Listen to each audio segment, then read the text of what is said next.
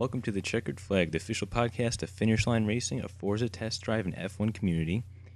So it's me, John, here, and uh, so I had the pleasure of uh, speaking with Matt Farah from the SmokingTire.com, and uh, he was running in the 2010 Bull Run, Bull Run Rally with his uh, 2011 Shelby GT500 from Black Magic, and uh, so it was really nice of him to uh, you know allow the interview, and so we did it over Skype. That was really cool, and uh, you know with a little editing, I think uh, it came out pretty good. Of course, uh, he had to take a phone call, so I just edited that out and uh, some other things to uh, make it more um, family friendly, we could say.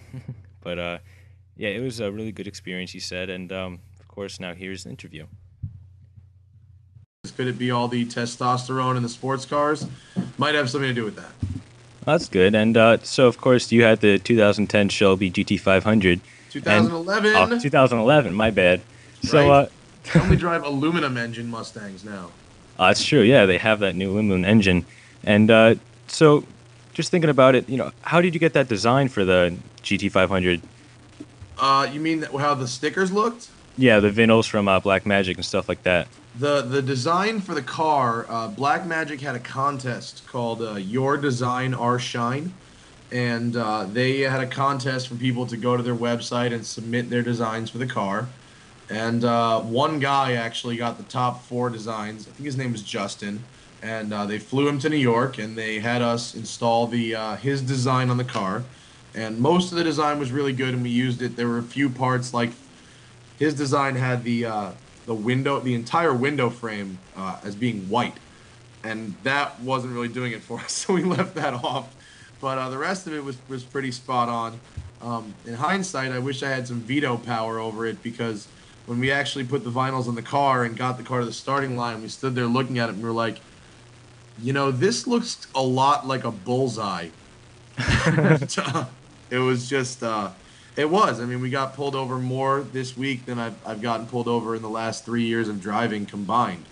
So the car is, is as bullseye as a car gets. It's true, I guess. You know, also compared to uh, you know, some of the other cars that they had there, like what were they, like Lamborghinis, Ferraris, and uh, Aston Martins. Um, there was a, two Aston Martins. Yeah, Ice T had a V8 Vantage Yeah.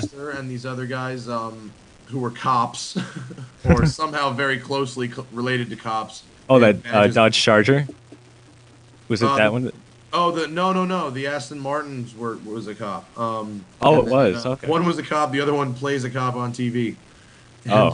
uh, and so there were also uh, two or th- uh, three Ferraris, maybe four. There was a few Mustangs, um, bunch of Mer- uh, different Mercedes, two or three C63 uh, tuned up cars, quite a few Porsches, and then you know some oddball stuff. There was a there was a Nissan GTR, a big diesel pickup truck, uh, of course the Woos, uh, the Woos real cop car, which is was pretty sick. Oh, I saw that when they put that uh, license plate in the back of your car. Oh, the pedophile Yeah. plates. they put they put some really good ones. One of them uh, they put on a uh, on a Ferrari. It said rental. Um, and the other one uh, they put on this kid's uh, car and it said "Daddy's money." It was they had some they had some really good ones. I like I like harmless pranks like that. They also saran wrapped our car. Oh, that's pretty good. Then, uh, so is that pretty much the only hijinks going on? Anything else major happening between like the racers? I mean, define hijinks. What do you mean, like crazy driving or Well- practical jokes? Yeah, more like you know, just not sabotaging, but just you know, making it a little harder for the other person to drive. I mean, the the uh, the taping quarters to the inside of a wheel is always is always a standard classic. Usually, people figure that out in three or four miles though and pull over. Um, there's uh, there have been some pretty serious rivalries in Bull Run. Like last year, um, the Frankel twins booted Woo's car. They put a, a police Ooh. boot on it. Oh, I actually saw that. Yeah, and then I you? remember in 2007, someone deflated someone's tires all the way. But that like that's play. You know what I mean? There's harmless, fun pranks, and then there's pranks where it's like, come on, really? Like you have to ruin my morning by making me find air, you know, in Yeah. Idaho right now. Like that's so. I mean, pranks are all in good fun, but you know, when it gets when you're really starting damaging someone's car or really, you know, doing something that they're not going to figure out immediately and laugh at, then it's like then it just gets over the top, you know. Yeah. So, uh, what would you think more, uh, kind of more hyped up, more exciting would be uh, Bull Run or maybe Gumball? Well, they're different. Um, Well, as I in know- like uh like you know you had uh mostly anyone can join Bull Run. How they have you know standardized you know there wasn't like high end cars or like amazing cars, but you know you had you know some Ferraris and Lamborghinis. But how is that compared to uh, Gumball? well, it, just because these guys aren't driving Lamborghinis doesn't mean they're not just as rich as the people who do gumball. If that's what you're talking about, like people who do gumball, I, I feel like really should realize that driving 3,000 miles in a Ferrari kind of blows. Like I'm not I'm not kidding. I've driven long distances in Ferraris before, and it's terrible. Like the best car you can bring on this on the rally is something that can handle well and cruise nicely at 120 miles an hour, not look too exotic, uh, black or silver, comfortable seats, great air conditioning. You know, like a like a BMW M6 Yeah. or a Bentley GT, like or or, or even you know something more low key, like like a Cadillac CTSV is That would be a nice, almost yeah. perfect rally car. And the Frankel twins this year brought a CTSV and won. And I mean, you know, have, a Ferrari is not is not a good idea for the rally. It's obnoxious and loud. You don't want to drive 3,000 miles in a Ferrari because it's just too it's too involving for that long of a drive. Yeah. So um, you know, would you opt out for maybe an RV or a camper? Absolutely not. In fact, I wouldn't do an RV because they're just huge. I'm thinking next year maybe doing a team short bus and buying a school, a school short bus for like 2,500 bucks on eBay. Might be a good idea. You could always uh, chrome the rims or and uh, maybe add some NOS on it. Oh, I mean, dude, you know, there's a whole lot of funny things you can do with a school bus, but after the ridiculous pile of tickets that Tom and I got this year, the only way next year is either we're going for a victory and driving balls out because that's that's the only way to avoid getting tickets. It's the people in the middle of the pack who get tickets. It's not the people in the front and it's not the people in the back. So you have to be in the front or the back. But you know, and I know Tom is sitting over there at his computer right now editing video, thinking we're going for a win. Um, but I need to have my license in order to do this job. So I, I don't, and I'm within inches of it right now. Oh, really? So uh, what happens with the tickets? Do you pay them or does Black Magic? I love how everyone thinks Black Magic is gonna pay our tickets. that's that's like the funny when you see the commenters on my videos and they're like, "Oh yeah, Black Magic's covering his tickets, no problem." And I'm just like, "Are you nuts? Like, what company would pay for something like that?" It's true. I guess they don't want that rep on them anyway. No, But, uh, of course not. Of course not. So how many tickets did you get in total? Uh, between Tom and I, in uh, in eight days, we got an even ten. What was probably the most severe you got? Um, Tom would have to take credit for. Well, it's actually it's almost a dead e- dead even split between Tom and I. Tom got um, uh, criminal racing on a highway in Arizona, which is a misdemeanor with a mandatory court appearance. Um, and I got in New Jersey in like the first ten minutes of the rally, uh, three tickets at once. Wow. Reckless, 100 in a 65 mile an hour zone, and unsafe passing all at once. Okay. So, uh, well, what would you think probably the worst thing that happened there at the Bull Run compared, you know, uh, maybe police activity or maybe uh, incidents that happened? Well, you know, this is my third year doing it, and Tom's second year doing it, and we learned a lot this year. Um, mainly that if you're the kind of guy who drives in the middle of the pack, which means you're going fast, but you're not doing anything really stupid like passing on shoulders and stuff like that. Like we had a no shoulder passing rule in our car because I, I honestly feel like that's just flagrantly little- yeah. unsafe. And even if drivers ahead of you see you coming fast, like no one really expects you to go for the shoulder move. Yeah, And you never so- know. yeah, so but so a lot of people do. I mean, a lot of people do, but we don't, and consequently, we you know we ended up in the middle of the pack.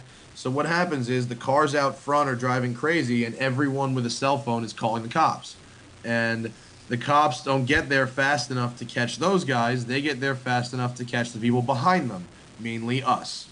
So Is this actually, uh, you know, police actually set up for this? Like they know what's going on, or is it just Oh, uh, dude, a like surprise half the guys, half the guys on the rally have police scanners in the car, and and we didn't this year. We will in the future for sure.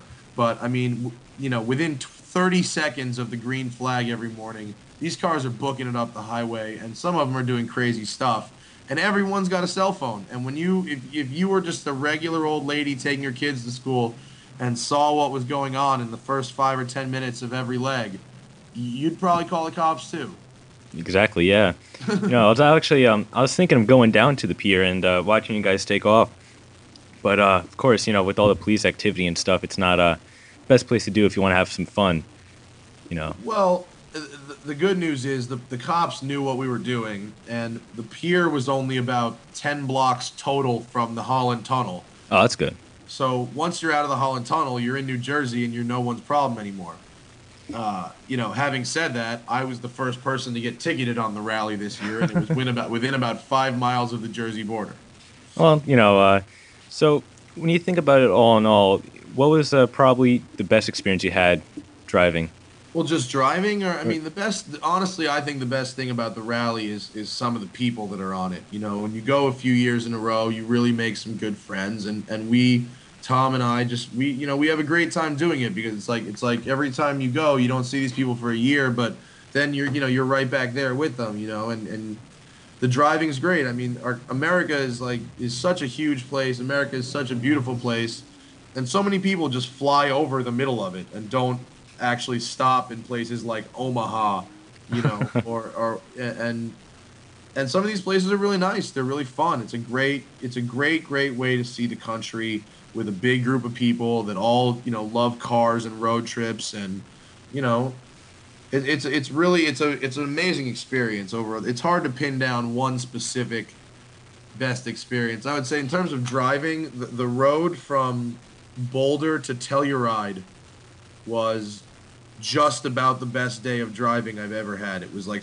i think it was um, colorado or, or us 50 and and that was like a hundred miles of perfect roads through beautiful mountains and valleys and rivers, and it was just like, yep, this is why we took the convertible. That's pretty good. You know, was there any uh, bad weather that you encountered? Oh my God, in Iowa, dude, I'm telling you, we saw some biblical in Iowa. Like what? like it was, it was a flood. If you've ever seen a flood. You know, when you think about it, what what would you if you couldn't drive your GT500? Would you possibly want to drive your own car? Like, would you risk never, that? Never, no. ever, ever, ever. Wouldn't want to risk it. Unless, unless I'm so rich, I just don't give it. I will never, as long as as as I live, drive my own car in the rally, and probably not even then. Okay, so um, but were there any major problems with the GT500? Any uh? Um, no, I mean mechanically that car is is as rock solid as they come. I mean I know good. I know the chief design engineer at SVT pretty well. I bought a Raptor like, um, you know I, I these cars are built um, to be abused, and SVT does a really good job of putting absolutely bulletproof drivetrains in their cars, and you can yeah. just, you can whip the shit out of them, and uh, and they'll take it.